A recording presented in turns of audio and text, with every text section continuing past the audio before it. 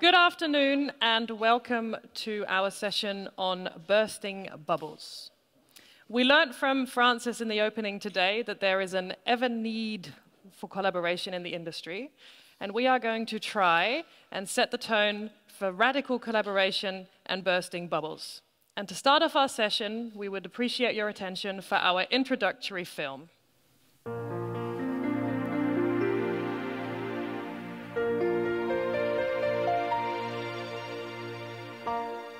It's very hot. It's very humid. I'm 2,500 meters up in the Volcano National Park in Rwanda. I'm sweating, my legs are aching, and a gorilla has just changed the way I think. Actually, not the gorilla itself, but the story of how these gorillas have survived and thrived in Rwanda has just opened my mind to the idea of radical collaboration. Let me explain.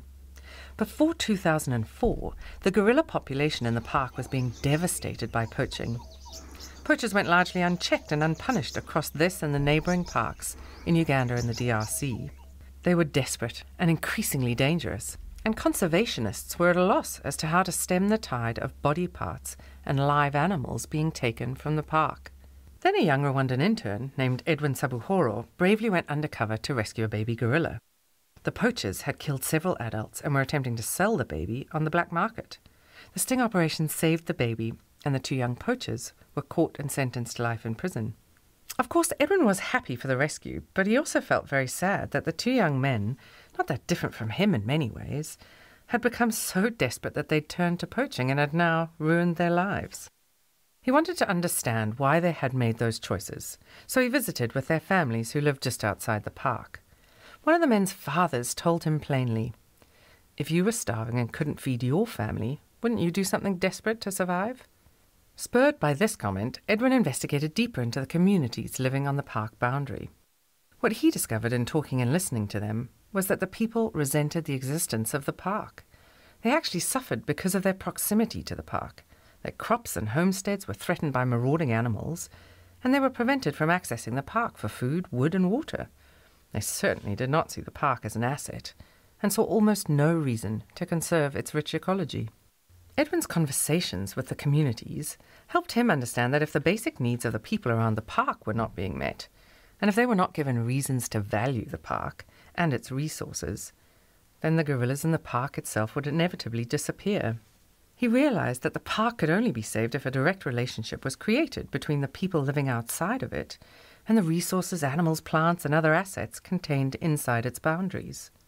What was needed was a radical collaboration. So he started a company called Rwanda Eco Tours, which shares its profits from guiding and hosting tourists with the communities around the park. He opened a cultural village, staffed by ex poachers, where tourists could engage with Rwandan food, music, and dance. He encouraged young villagers to become guides and porters and rangers, earning dollars directly from tourists in the park. The government of Rwanda and other operators saw the value of the model and aligned their practices so that the park now effectively disburses more than 600,000 US dollars a year to community projects. Schools, health facilities, water storage, roads, a radical amount of positivity injected into the community through this collaboration. And now the park is treasured by all as an invaluable partner for development and growth. Edwin hopes now that this approach can be applied in neighbouring DRC and Uganda, where although the costs of seeing the gorillas are significantly less than in Rwanda, the problem of desperate, dangerous poachers and the disenfranchised communities that create them still persists. In Rwanda, there have been no gorillas poached since 2005. The poachers have become the protectors. And that brings me back to my gorilla sized, mind shifting moment. As I sat watching the real life result of Edwin Sabuhoro's transformative thinking, I realized that we in global mobility need to challenge ourselves to consider not just collaboration as we're used to, but a radical collaboration across our experience.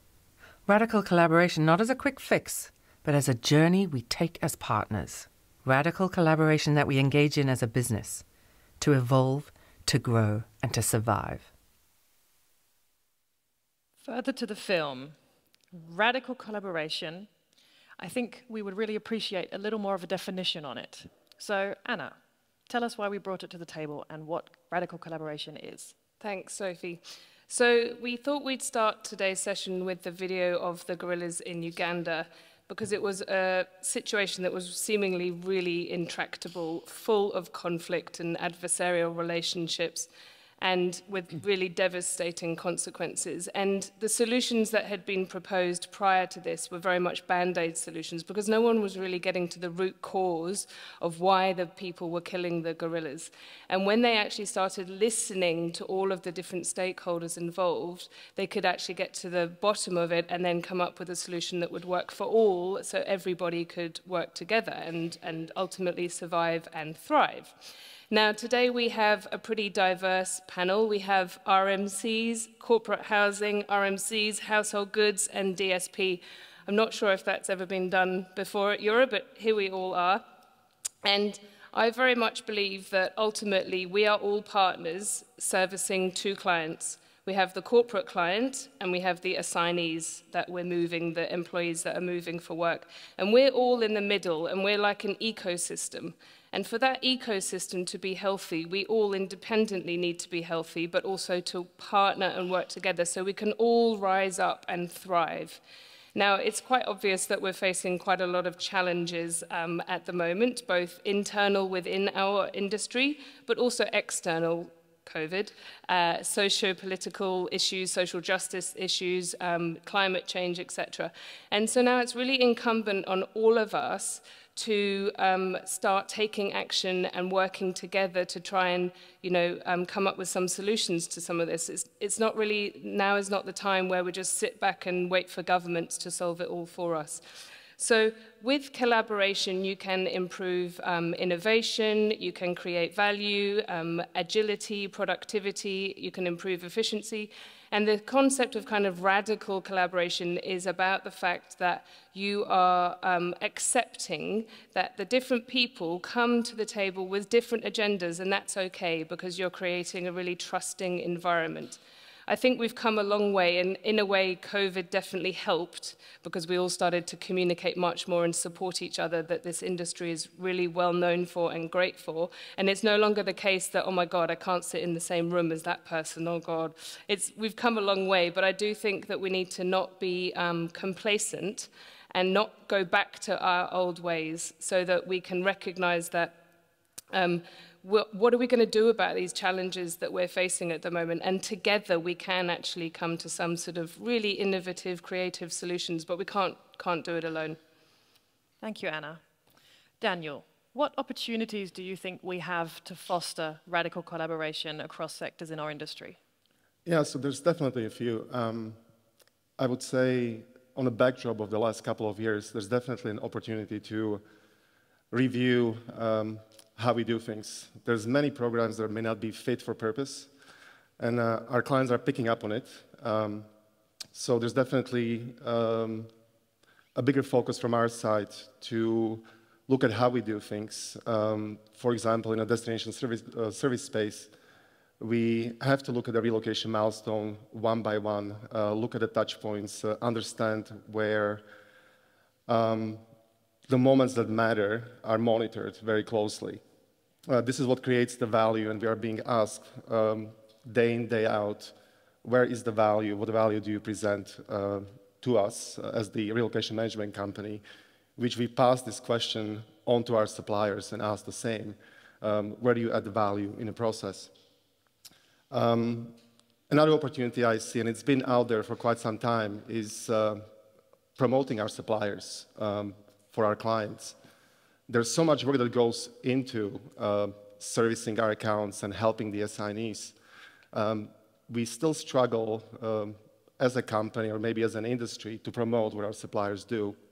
Um, so I definitely see a great opportunity um, with that. Um, advocating on behalf of our suppliers, uh, it's very critical as well, especially um, I call them the smaller guys it's easier to speak to uh, large companies with well-developed systems and infrastructure. But um, when, you, when you have a need in a remote location, when you have a need in a tertiary city, um, you have to lean on small supplier. And these guys many times need help. Um, I had a good conversation today, as an example, around invoicing. So our clients impose uh, financial terms onto us, knowing, for example, in some markets the standard would be 30 days uh, of payments. It would be very, very difficult for the supplier to commit to, let's say, 60 or 90 days. So as the relocation management company, and I hope I speak for all, uh, we should be pushing back on our clients and explaining um, what sort of adverse effect this would have um, on the supplier and their payroll and ability to actually um, fund service for the employees. Something that's been on my wish list for quite some time um, is actually involving suppliers uh, during the implementation process. Uh, easier said than done, um, but uh, we're slowly getting there. And there's tremendous opportunity to actually fine-tune the delivery uh, at that stage, as opposed to rush or sprint towards the go-live deadline and be happy that we made it on time, uh, knowing that the actual service um, may not be 100% where it needs to be. So I think it's a great opportunity uh, to maybe slow down a bit, um, give a chance for suppliers to come to the table um, with the ideas, recommendations, um, course correct, you know, in early stages, and then be able to start 100% um, with the service. Thank you, Daniel. Rene, maybe you have a couple points to add to that? Um, well, certainly on the payment terms, I do. but I just think, I mean, you know, I'm a small DSP sitting in South Africa, Cape Town, and we have had to push back a lot on payment terms purely because we actually pay our consultants and we landed up funding um, basically our clients and we had to stop that because I could no longer look at my consultants in the eye and say to them, I'm sorry, there's delayed payment. So we had to pay on time and so we pushed up the so up the supply chain and requested the same of our clients. So we've actually got all our clients now paying in 30 days. So it's a good point. It's a very good point.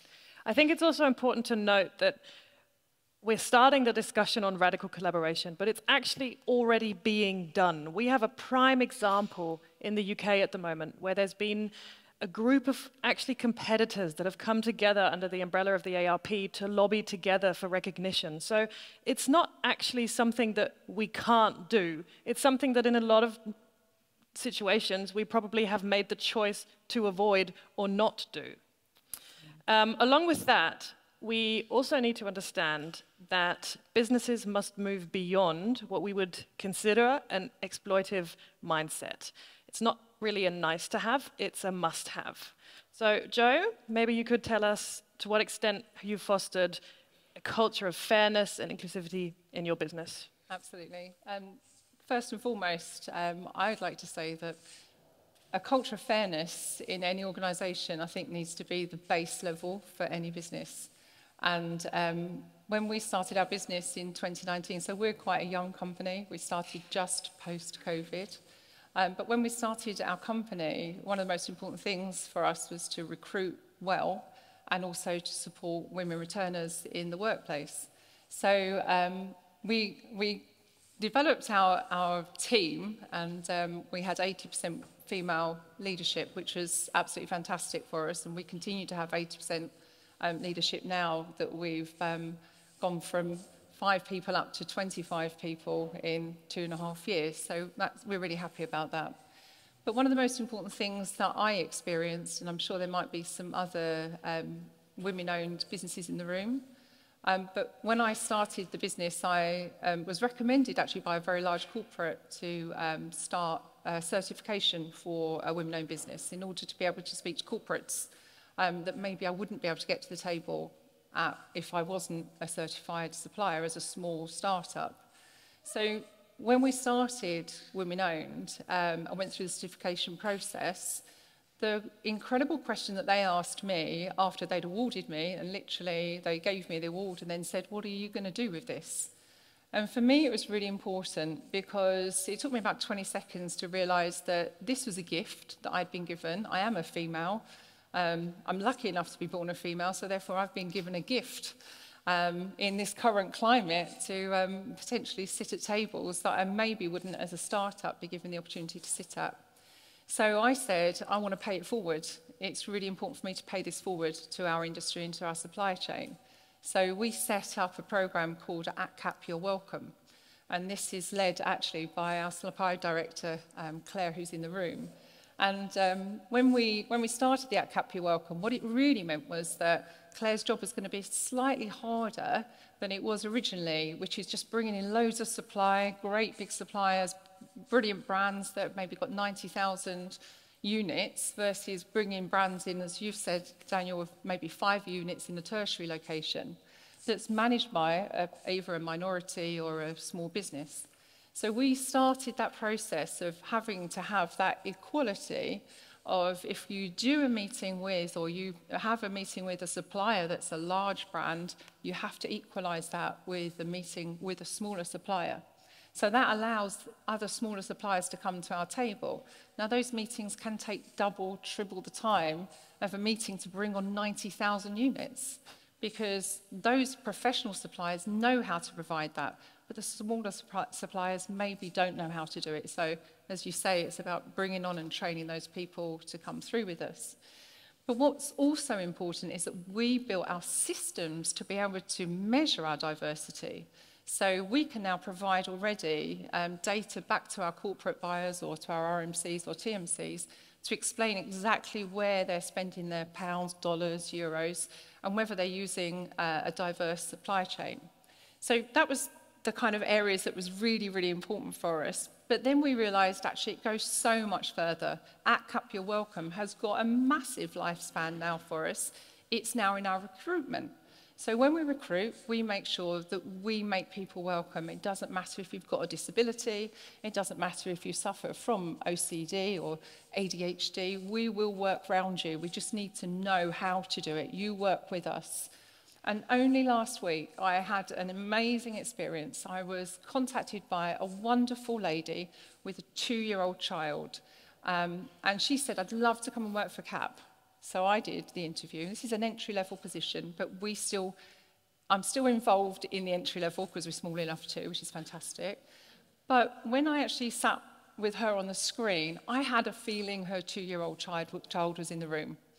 And um, she was saying that she wanted to come and work for us. And I had to ask the question, you've got a two-year-old, have you got childcare? And she said, uh, no. And I said, okay, when could you start? So she said, Monday. And I said, you've got no childcare. So she said, no, but I can get it, but not for the first month. And I was like, wow, okay. So then suddenly she started to get emotional and I said, right, okay, let's stop here. If I offer you three months childcare, would that make it easier for you? Because as she explained to me, if I've got no job, I can't get childcare. And if I've got childcare, I can't pay for it. So it was a, she was in a catch-22. There was no way she was going to be able to be employed. So offering her three months, I mean, she broke down on the phone, I broke down on the phone. It was an emotional experience, But it was incredible that we were able to actually bring somebody on that actually couldn't get started in work because of her childcare issues. So it's about being diverse, being inclusive, and that's where the fairness comes from our perspective. It's super important for us. And as I've said, our leadership, 80, so 80% of our team are, um, are females, but all of them are female returners, and 50% of that leadership team are looking after children under 10. So we have to have a hugely collaborative environment where people are supported. And as far as our global talent is concerned, what's absolutely incredible is that we've realized we're a 24-hour business. So if you need to do things with your children, if you need time off, we're happy for you to catch up. So that's the most important thing for us really in, in our business and which really does fall into fairness is making sure that we look at every single area and ensure we're being fair, equitable, that we provide support to everybody inside our team. It doesn't matter whether you're male, female, if you've got a disability or not, or wherever you are, wherever you are in the world, we just want to make sure that at CAP you're welcome. So it's worked from supply and now it's through our recruitment and it runs through our DNA.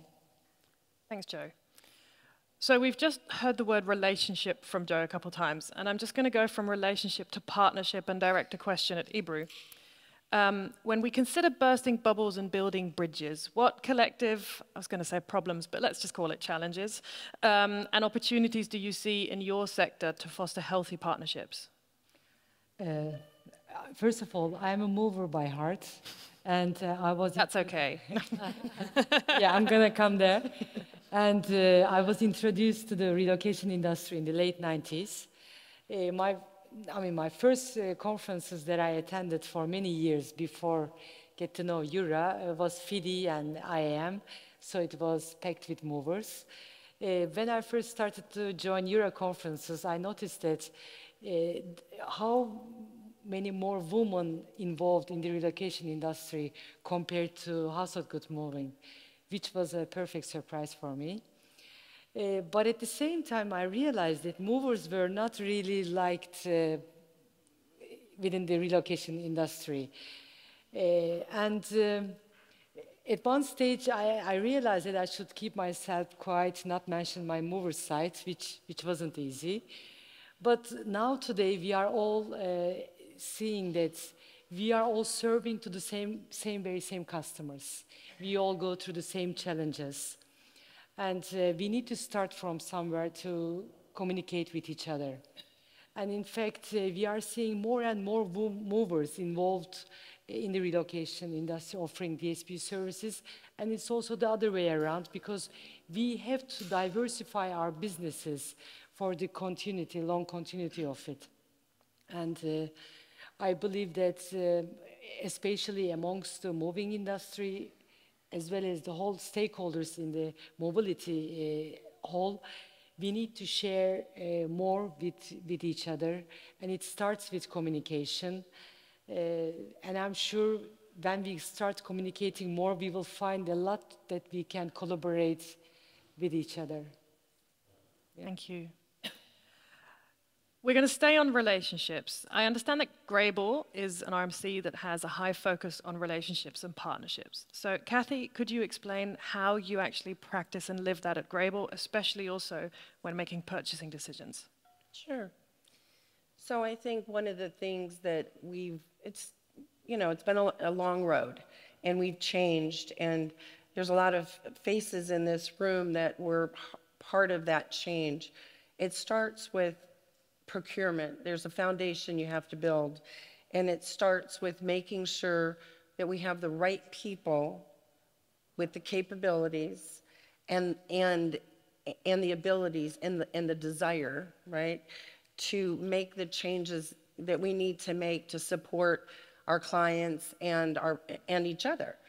And so when we started to look at this, we created a new foundation at Graebel over the last few years, and it really starts with a, a very procurement-minded start, but it ends with partnership.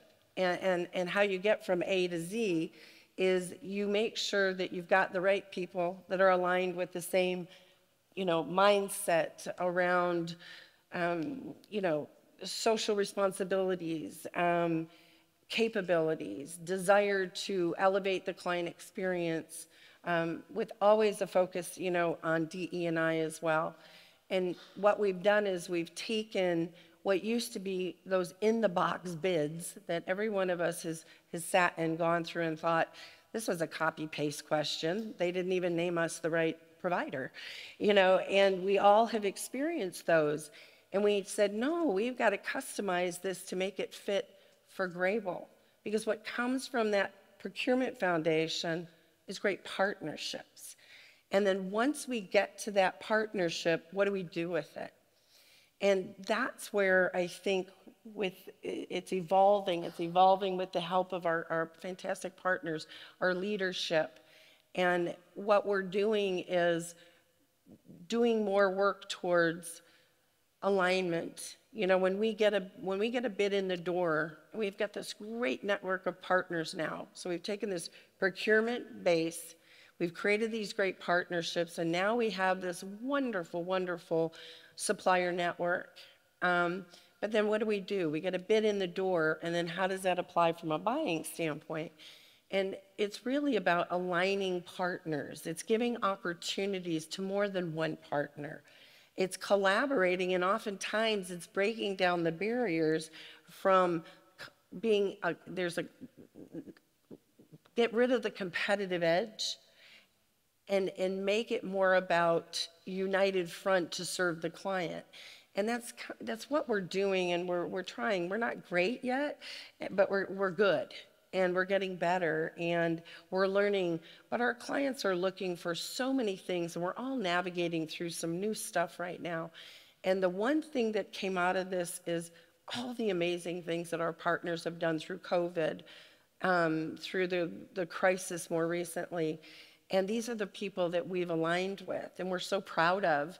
And that's why it just ignites us and, and it becomes very synergistic to make sure that we continue to support our network through that buying phase. And that's, uh, that's kind of what we're doing. We still have some stuff to learn, but we're, we're getting there. we grow and we learn. we understand that for radical collaboration, there is a certain amount of willingness and understanding that needs to be had. Rene, could you give us some insights on that? Yep, and I guess it's um, what we're sharing here today really is some of our insights, some of uh, practical applications. But I guess for those of you who are in the room, and, and I will put the recording so those who weren't could watch it again. But essentially, going to Rwanda to see the gorillas is almost three times more expensive than going to Uganda. And the reason is because Rwanda is investing back into their communities, so it is more expensive. They're giving value back to their own community, and by this they can lift up. So essentially, I think there are three elements on how we can, I guess, set the environment for radical collaboration. The first being value. If we, in our own businesses, demonstrate value and use that as our guiding principle, um, and market ourselves carefully on that principle rather than price and not enter price wars because I believe value will be able to serve our people and planet. However, if we go into a price war, we'll end up not serving our people and planet. And that is, for me, key in terms of setting the stage for radical collaboration. Um, the second thing is willingness. Um, to get around the table, it's not necessarily to come up with a business concept to make some money. It's actually pulling people together from diverse backgrounds and not just perhaps gender, also size of companies, uh, continents they represent, uh, industry sectors. Um, to bring them together and have a willingness to open up hearts, minds, um, to be able to talk about how to solve problems. I think in our industry sector, we have a lot of problems. I feel like we're putting a lot of plasters on problems. I don't think we've actually uncovered what the problems are and how we can best resolve them because we do function um, pretty much in our silos. So radical collaboration, you know, requests us to kind of work more extensively with the silos together. And then finally, I think time. Um, so, you know, dedicating time, as I say, it's not necessarily a business concept that's going to generate immediate income or return on investment. Um, we recently ran a temporary housing sustainability workshop, and actually it was incredible because it was competitors all coming together to solve a problem. And they all gave up their time, to come round a table and discuss how they can together resolve a big question like sustainability. So, yeah, I think those are the three um, big blocks to be able to set the stage for starting to discuss radical collaboration.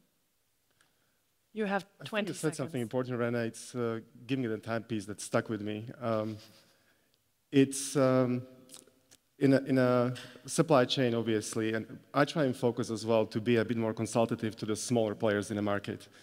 Uh, these are the guys that are probably not sitting in those chairs right now because they can't afford it. Uh, these are the guys that are also probably daunted by um, massive compliance paperwork we send across to them.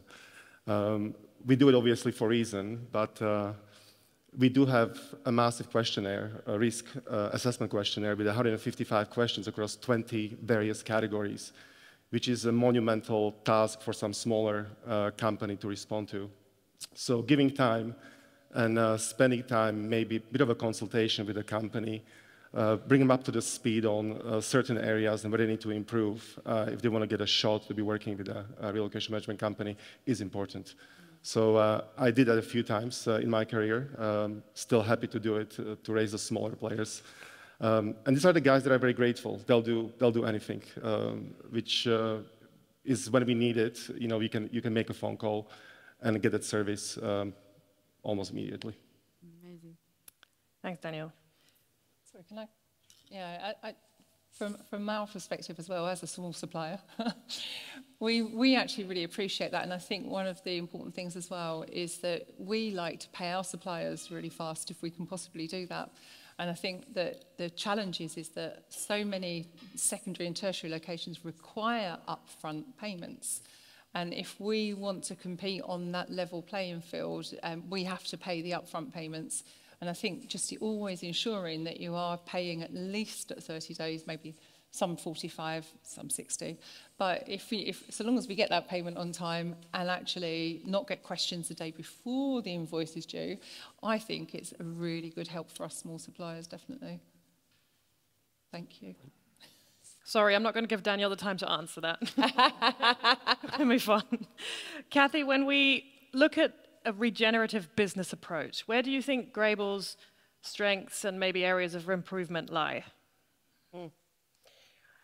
Well, I, I will tell you, our focus this year at Graebel is the year of empowerment, and that's a big word. And what it really means is, what can we do to, what tools can we provide our partners and our clients to be successful? Right now, everybody is still trying to figure out how to navigate this, as you know, we've talked about. And what we're trying to do, I guess, is to say, you know, what do you need from us? We're empowering you to be innovative, uh, to think outside the box, do the things that you believe you need in your region to serve those clients and we're, we're here to help. Um, so from that perspective, we're kind of giving this opportunity to, you know, what you think we need, bring to the table, let's do it. Where we could be better, and, and we know that, and we're working on it, is sharing in the information that our partners need to be better. Mm-hmm. And that is get them in front of the clients and let them talk to the clients and really get a sense of what they want. Sometimes the translation is the biggest thing that creates the damage. What we heard, what our account manager may have heard, and then what our partner heard, right? And, and they're the ones that have to deliver it. They're the extension of us. And so we have to figure out how to be better at communicating and how better at translating. So that's a big part of it. And I think the other part that we need to do is it's okay to be transparent, right? It's okay to talk about, yeah, you've been working with this client for a long time. Their volume's pulling back right now. But you know what? That's how our partners adapt from headcount to, you know, being able to forecast their business. Mm-hmm. So it's layers and layers of things that we're learning on how to be better.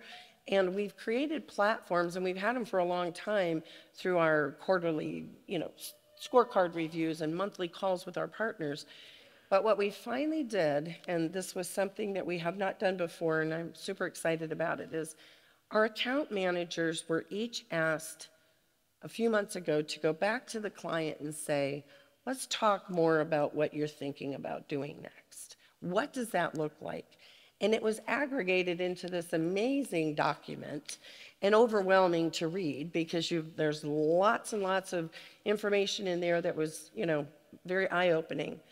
But now we have this fantastic tool that when we sit down with our partners in our monthly meetings, we can say, hey, let's take a look at that client. Let's take a look at the regions, the ones that you serve, and, and share in that information that I think for a long time you, you weren't transparent about, and now we are. So we've got some ways to go, but I think we finally have an understanding through, from our account managers. They know the importance of our partners. We educate them every day on all the things that our partners do. Our, our consultants would, they wouldn't know what to do without you.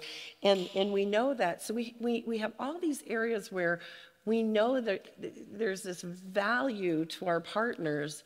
The problem is we don't share it enough and we don't convey that enough. And so I think one of the things that Graebel this year, part of that empowerment is the communication and transparency. And so it's, you know, sometimes it's it's hard for people to swallow a lot of that information, but it's human and, and it's how we're going to get better and, and, and grow together. So I would say that's probably our area of most improvement needed. Thank you. I really appreciate the fact that we're having such an open discussion here. I think this is great. Um, Jo, in corporate housing, how do you feel that there has been collaboration in, for example, solving blockages? Yeah, firstly, I just want to say I 100% agree with you. Uh, I think from, from our perspective, we have to trust our supply chain because our supply chain look after the guests.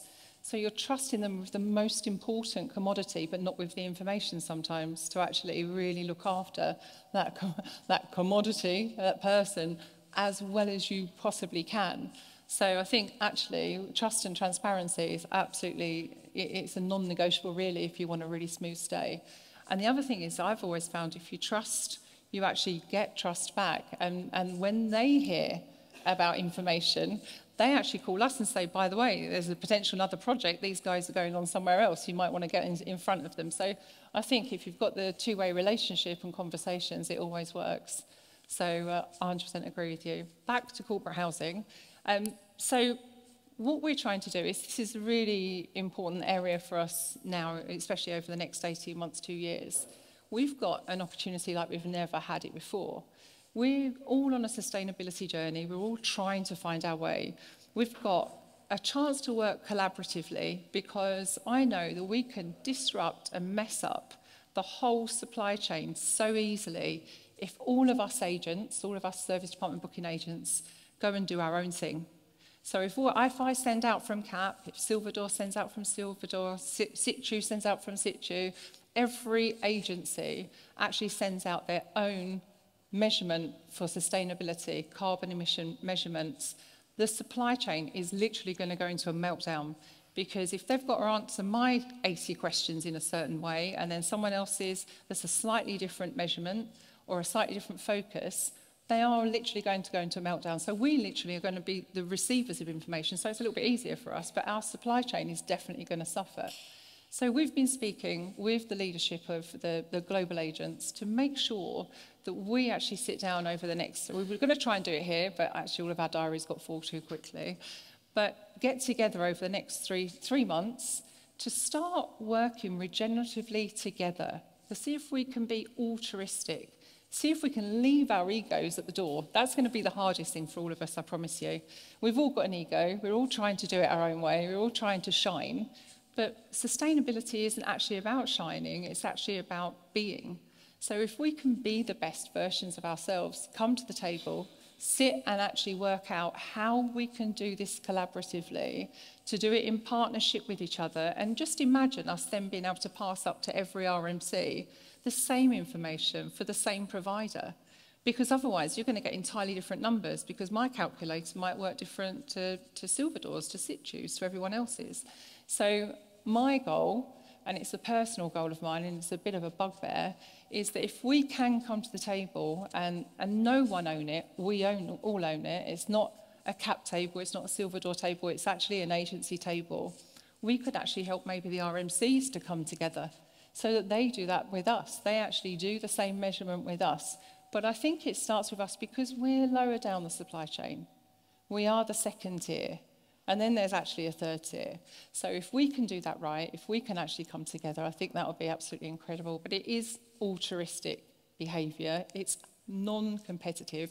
I'm one of the most competitive people in the room, so that's going to be challenging for me. But if I can do it, I'm hoping that all of my comrades can do it as well, because that's going to be important.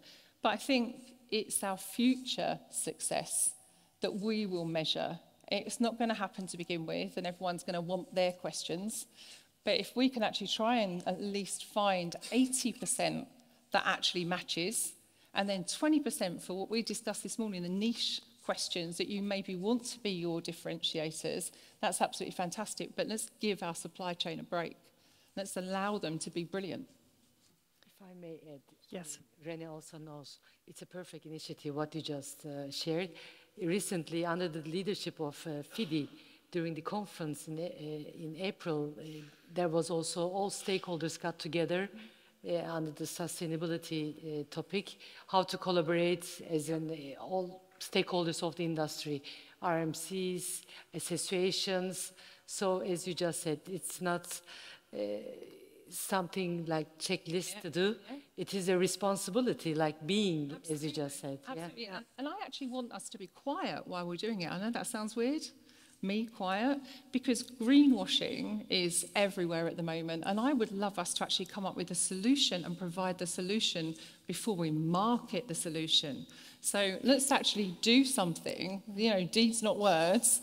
Let's, instead of like putting a picture of us up saying, hey, look at us, aren't we amazing? Let's actually just talk within our industry and actually try and get this across the line in order that we've got one thing that we've moved forward with in sustainability that helps everybody eventually. I'm very sorry. I'm going to sort of interrupt the conversation at that point. Be mindful of time. Um, we've just heard the word technology a couple times. Daniel, how do you see technological advancements in the future taking a bit of part of your supply chain or the role that it will play? Yeah, I, I wish I knew. um, Disappointing. yeah, I can, I can give some opinions perhaps, but um, I think it's fair to say, especially from the RMC standpoint, that we uh, operate extremely complex supply chain, um, which makes things a bit, bit more difficult for us. Uh, to previous point, um, sometimes it's the suppliers that actually drive the change. You would expect that the big IMCs can actually make change, but it's, the, it's a big ship to turn. have to do it first, yeah. Um, so we are looking for ideas. Um, there's plenty of ideas. We also have to process the ideas, evaluate the ideas. So uh, many times we do rely on uh, much smaller companies to come and help us. Just, just to say that. Hey, we'll be there for you. Yeah. Um, obviously, in the tech, uh, tech space, um, digitization will, continue uh, for sure. There's, there's so much happening. We've um, had several projects with our cli- clients, as an example, where um, they finally allow us to actually provide feedback and uh, content for their websites, uh, landing pages, um, when they bring a big population to London's and Dublin's and um, high volume locations, which is fantastic. This wasn't the case before. Um, so we're seeing uh, being invited, you know, to these small, uh, small projects and being able to provide and refresh the content uh, frequently that is passed on to business managers and uh, recruiters and obviously even candidates in some cases, which is great to see. Um, data integration, some of the, some of the things that it's been on for many, many years now, we still are challenged with um, GDPR, EU, US data privacy laws. Um, I'm heading with this is basically um, many, of our, many of our clients and, and employees are complaining about information not being passed from supplier to supplier. We're trying to figure out the best way where we equip the consultant to be able to actually um, legally pass the information uh, so we don't have to ask these questions or employee doesn't have to ask the question or respond to, uh, to the question 25 times during the process. So it's, it's quite important to, to get it sorted out if we can, um, obviously within compliance of the GDPR, EU, US data privacy laws. Um, flexible service offering is something that, um, again, has been on and discussed uh, for quite some time. Um, our clients are coming to us asking for one thing. Um, give, us, give us a story supported by the data. Let the data uh, or data tell the story, which is quite interesting. So we, we are going to our suppliers are getting, and challenging them on uh, not only providing excellent service, but uh, can we get some metrics around that? As I mentioned earlier, around the uh, milestones, for example. So we are monitoring um, number of property viewings uh, in some markets and being able to actually um, aggregate information and be able to tell a story to the client and basically say your two-day or three-day service is not sufficient. Uh, going back to is the program fit for purpose? Um, things in the temporary housing space, for example, lead time report. Again, uh, critical to understand how much time are we giving our suppliers uh, to source temporary housing. Um, so there's a bunch of initiatives that are, that are on. We haven't reached out to entire supply chain to, you know, to get this done. But I think uh, we'll be seeing more and more uh, asking for more data, more meaningful interpretation of data that our clients uh, are requesting. Um, self-service, uh, again, uh, business-to-customer uh, products, very popular. We can't forget about the lump summers and people that have money and don't know what to do with it when they come to a host location. So uh, I know every company is trying to find a silver bullet solution, um, and the products are out there, but uh, there isn't a proper global solution, you know, quite there yet. Uh, I think we're getting closer, but it's going to be, I think, a game changer um, in the future. Um, last but not least, and probably the least favorite point, but I'm going to mention it anyway, uh, is basically integrated bidding platforms. So as you know, in a house of goods space or temporary housing space, um, this is already in place where um, suppliers essentially bid um, for the jobs to be able to provide a service. Uh, we are seeing some attempts uh, you know, for this to come to DSP space and some other service categories. It's going to be a bit more complicated, but there's still, for some clients, um, that procurement mindset of we need to be able to essentially give opportunities in a bidding platform for all these services. Um, not something I'm, particularly fond of, but uh, uh, it is definitely out there. It's something to, uh, something to watch for. Thanks, Daniel. For the next couple questions, just because we're a little bit behind on our timing, if we could. Um, arguably, with technology, D&I is another big hot topic. Um, Anna, can you tell us a little bit how about you would any recommendations or how it's implemented in supply chain? So not only in the talent acquisition, but on the supply chain side. Yeah, absolutely. I mean, it's an imperative for most, you know, large organizations these days to ensure they've got DE and I incorporated into their supply chain and to have sight of that supply chain. Um, and so, I mean, I'm sure that's what you guys are doing all the time. Um, so, but you know, have e, encouraging new suppliers to come into the market. Like I was really encouraged today in the starting session to see how many first timers stood up.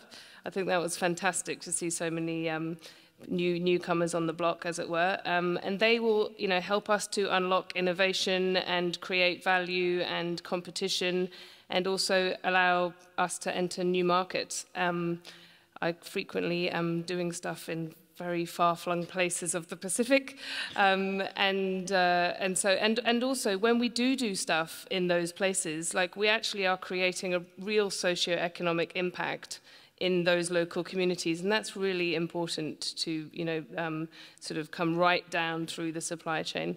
Um, and I think uh, EuRA plays a really pivotal role in that, actually, because as we get more and more people in there, we want to, like I was saying before, we want to be able to bring them up and, and along with us. And I'm not saying a 100-page data security questionnaire is anyone's favorite thing to do, but if we can all learn how to do that, if there's a willingness, I guess. If you can't be compliant and you're not willing to be compliant, there's not really going to be a space for you, I don't think, in the future. But if you do have willingness to, to get on board, then, you know, EuRA is a fantastic platform to help facilitate that. If we grab onto um, the socio-economic impact that you've just spoken of and the concept of not leaving anybody behind and being inclusive, um, Ebru, how would you consider the relevance of that in quality and basically your supply chain? It sounds definitely collaborative and inclusive, but in terms of quality, I see it's very risky. Uh, I've, been, I, have served at the FIDI board for the past nine years, and I had the privilege to work on the FIDI's mandatory quality program uh, called FAME.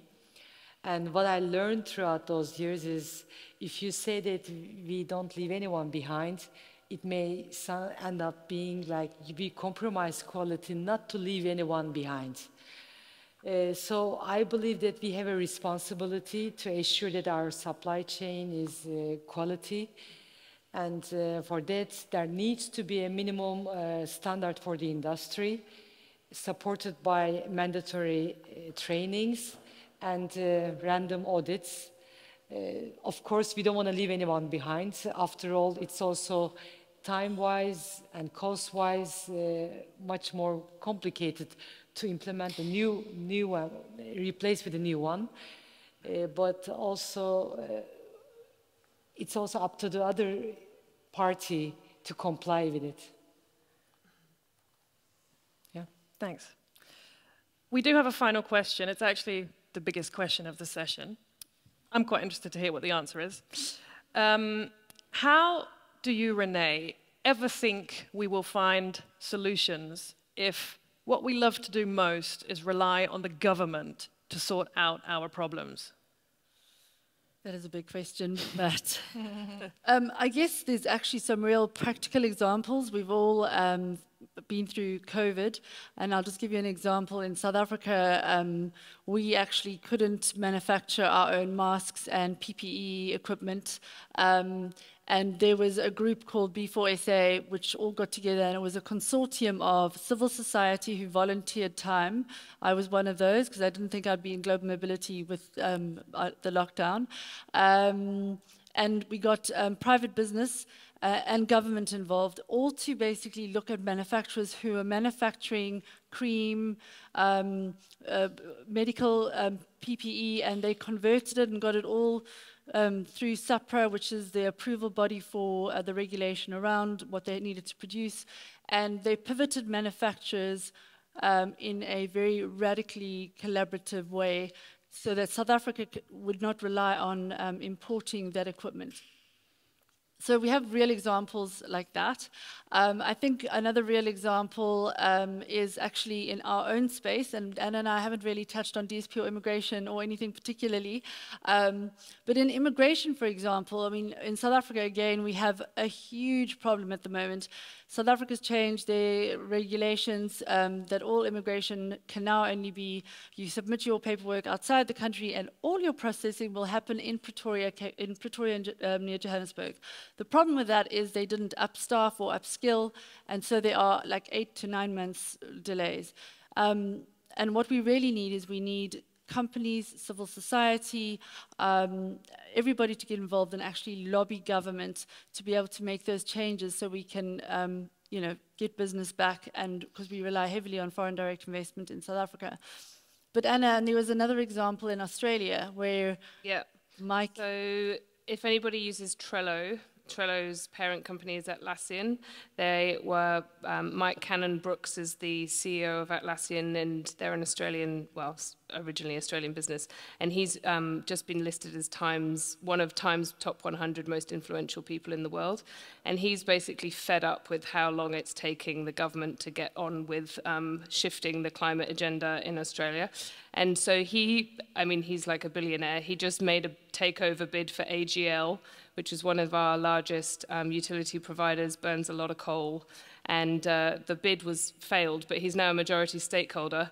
Um, and so he's got a seat at the table, basically, and he's affecting change pretty quickly. And uh, as of Monday, the chairman is gone, the CEO is gone. So, you know, it just goes to show what can happen when you actually put your money where your mouth is and, and take action. It's really, really amazing. And I mean, not that I know exactly Elon Musk's motivation fully, but the purchase of Twitter, um, he my understanding is that he wants to have an open um, social media communication, and he doesn't believe it can be done any other way unless someone from a private um, perspective owns that. And I think the, the reality is that you know, we need advocates to be standing up and shouting from, you know, um, like the Greta Thunbergs to really sort of say what the problems are um, so that government can start making changes, policy, but that is slow. We also need businesses to get involved and encourage government to make those changes. But as we can see, we can't rely and wait around for governments to make change because um, we certainly know that um, they didn't do, you know, make the changes on their own with COVID. We all had to pull together, every single one of us. So it's a really um, collaborative um, affair. Yeah. Thank you. Our intent of what we were doing here today was to just install not only a sense of hope, but just a little bit of inspiration to have a transparent conversation, to start the conversations on collaboration We'd love it to be radical, but if you start out soft, that's also great. Um, we're really grateful to two of these leading ladies, sorry, Daniel, um, Anna and Rene, for putting this together, putting this forward for EuRA. And just as a closing note, we just like you to remember that every day that we wake up, we make a difference. And it is up to us what difference we are going to make on the respective day. Thank you.